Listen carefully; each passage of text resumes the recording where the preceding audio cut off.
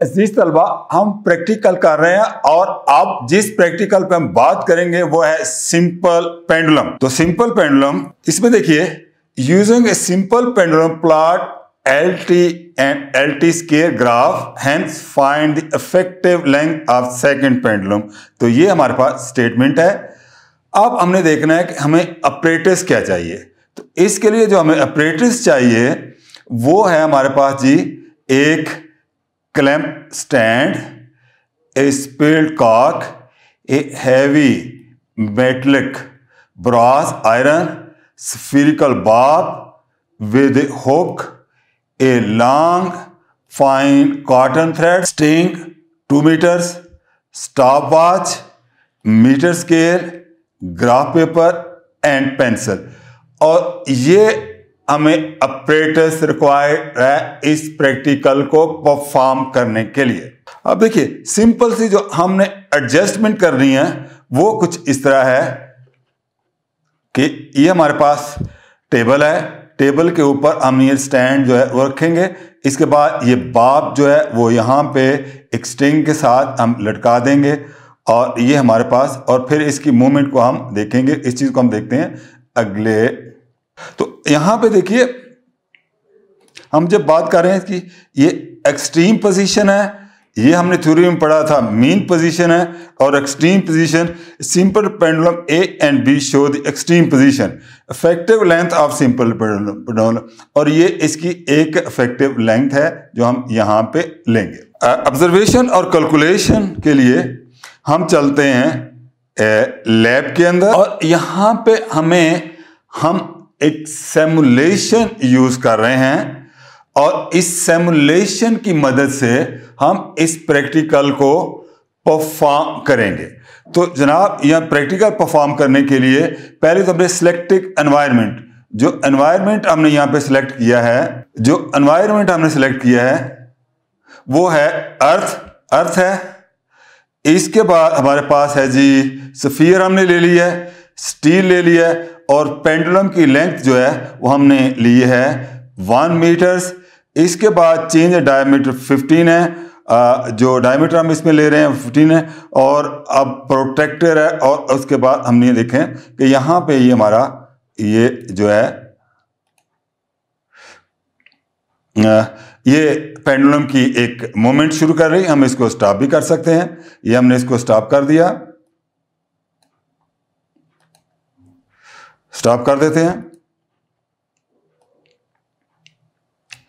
अब हमने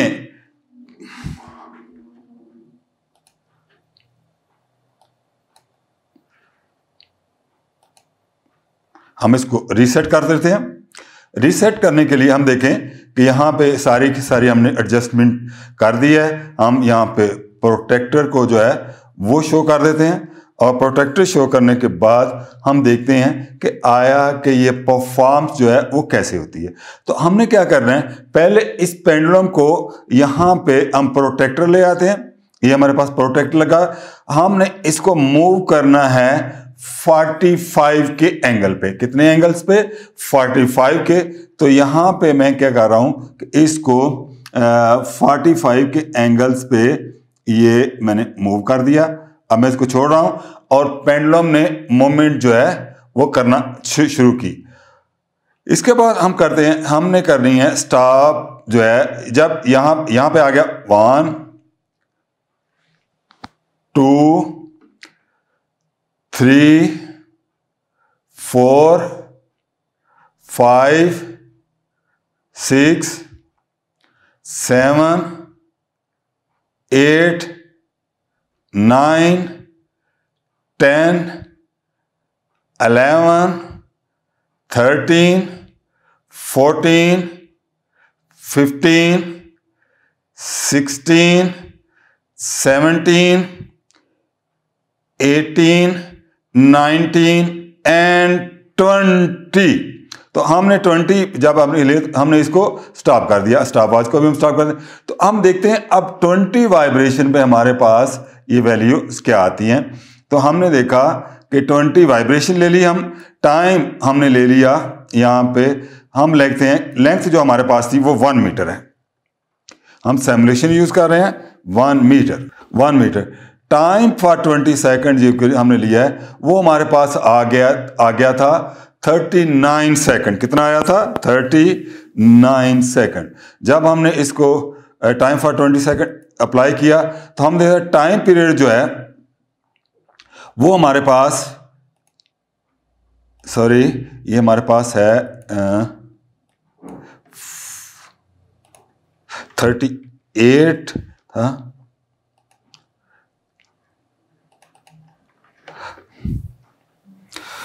forty one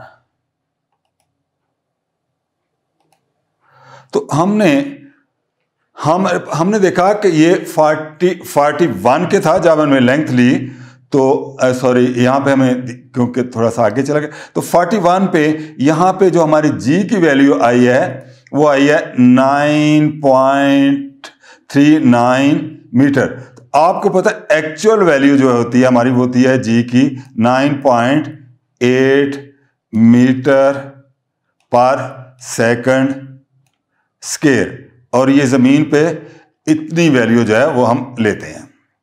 ठीक? अब हमने क्या करना हम इसको रिपीट करते हैं। हम इस वैल्यू को रिपीट करते हैं। रिपीट करने के लिए हमने क्या करना है कि दोबारा से इसको रीसेट करेंगे।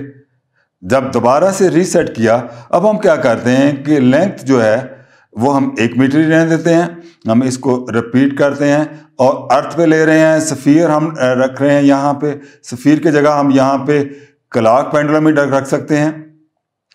आ, हम एक क्लॉक पेंडुलम जो इसको यूज़ कर लेते हैं। आ, और पेंडुलम की लेंथ हम फिर एक मीटर रखते हैं। अब हम देखते हैं प्रोटेक्टर को हम शो कर देते हैं और शो करने के बाद इसको मूवमेंट करते हैं 45 के एंगल पे। तो जनाब ये हमने 45 के एंगल पे ले जा के छोड़ा और हम स्टार्ट कर देते हैं इसकी मूवमेंट।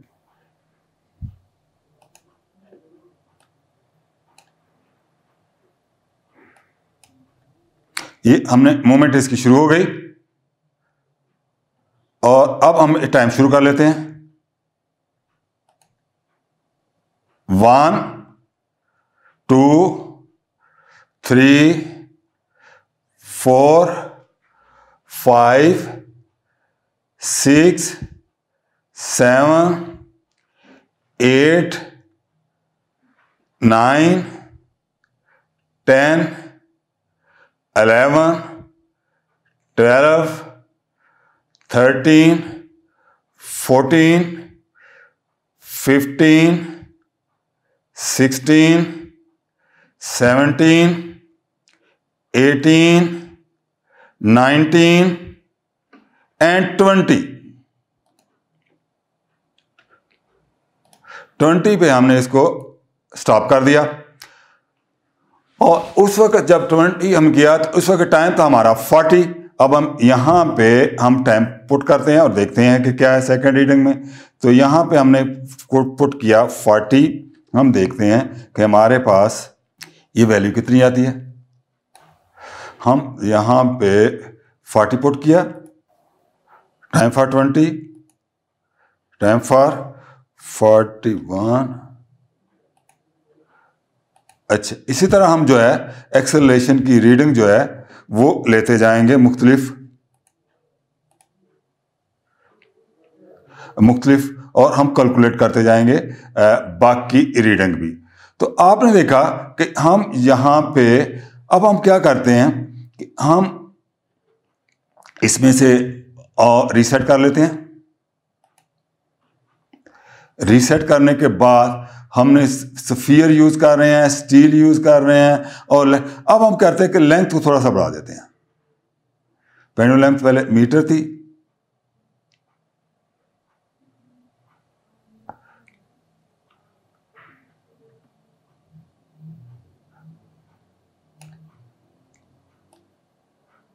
अब हम इसको 1.5 कर देते हैं। चलें जी 1.5 इसकी लेंथ कर देते हैं। लेंथ हमने बढ़ा दी। अब हम देखते हैं कि लेंथ बढ़ाने से हमारे प्रैक्टिकल पे ए, क्या असर पड़ा है। तो अब हम दोबारा से काउंट करते हैं फिर देखते हैं कि वैल्यू हमारे पास कितनी आती है। तो जब दोबारा हम कैलकुलेट करेंगे हम देखते हैं कि यहाँ से प्रोटेक्टर को शो कर देते हैं। ये प्रोटेक्टर आ गया। हमने यहाँ से इसको 45 के एंगल पे जाकर छोड़ दिया। One, two, three, four, five, six, seven, eight, nine, ten eleven twelve thirteen fourteen fifteen sixteen seventeen eighteen nineteen and twenty twenty पे अभी हमारे पास जो टाइम आ रहा है, वो है फोर्टी एट तो अब हम इसमें डाटा ऐड करते हैं। हमने क्या किया कि हम यहाँ पे लेंथ अब हम इसकी नोट करेंगे सॉरी लेंथ हम करेंगे 1.5 1.5 हम इसकी लेंथ देते हैं। और ये हमारे पास आ रही है 49 49 49 हम वैल्यू पुट करके देखते हैं।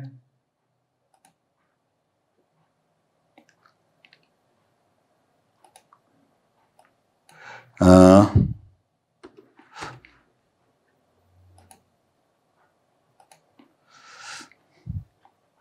तो यहाँ पे ये वैल्यू लेंथ के साथ बढ़ गई।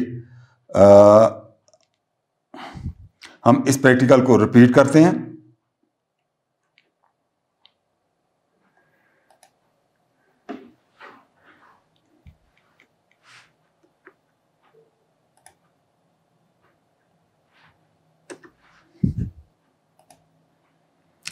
रिपीट करते हैं और हम लेंथ दोबारा ले लेते हैं वन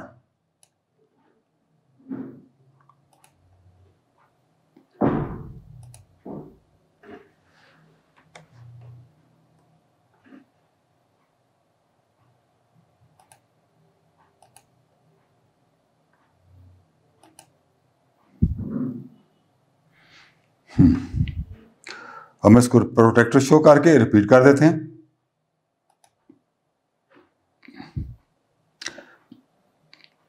इसको 45 के एंगल पे मूव कर देते हैं।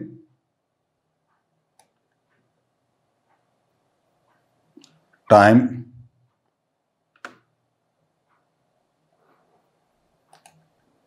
एक, दो three four five six seven eight nine, ten eleven twelve, thirteen, fourteen, fifteen, sixteen, seventeen, eighteen, nineteen and twenty. अब ट्वेंटी पे जा रहा है हमारे पास, ये हम इसको पास कर देते हैं।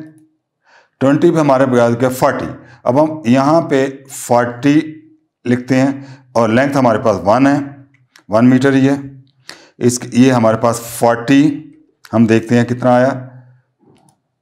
और ये आ गया हमारे पास, ये वैल्यू दो सेकंड जो है, वो हमारे पास वैल्यू आई कितनी? ये वैल्यू ये 9.86 और हमारी एक्चुअल वैल्यू जो है, वो है 9.8 तो आप देखें कि ये वैल्यू और ये वैल्यू दोनों क्लोज हैं।